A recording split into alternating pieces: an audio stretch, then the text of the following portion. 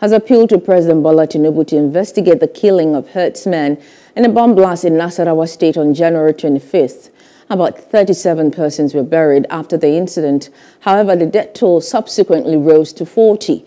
The incident, which occurred in the Rukubi community of Doma local government area of the state, generated uproar across the country, with some stakeholders accusing political bigwigs of masterminding the deadly attack.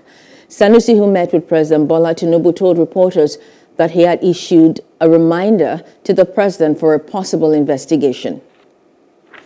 Uh, the second cap aware is that of the Horejo Tabital Pulaaku, and I'm therefore concerned about the issue of uh, herdsmen farmer clashes, and he's also concerned.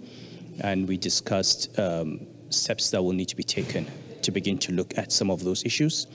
But in particular, um, I came to appeal to him on the case of the 37 herdsmen who were bombed by the Air Force in Nasarawa State uh, a, few months ago, uh, which uh, we wrote a letter to President Buhari on. Uh, and we have now written a reminder because it's a matter we do not want to be swept under the carpet. And um, the president has asked me again to send him that letter, and I'm sure that he will look into, into the matter.